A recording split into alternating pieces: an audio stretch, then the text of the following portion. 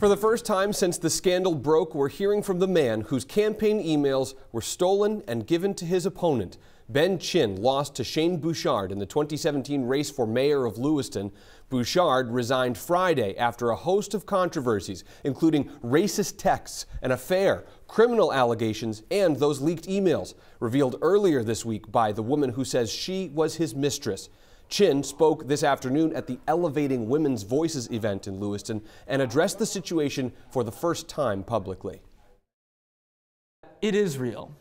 And uh, I did write some emails to some people saying that it was real. Um, I have experienced racism personally. I have heard people say things similar to jokes that were in the paper this week about others. And both of those are bad. And they happen all the time.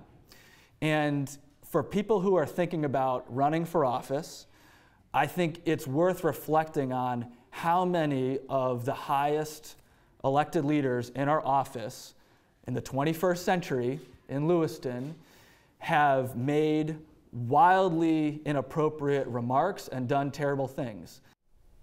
Chin also said he's thinking hard about whether to run for mayor again, but is considering sitting out the next race. Council President Kristen Cloutier is taking over as mayor for the remainder of the term.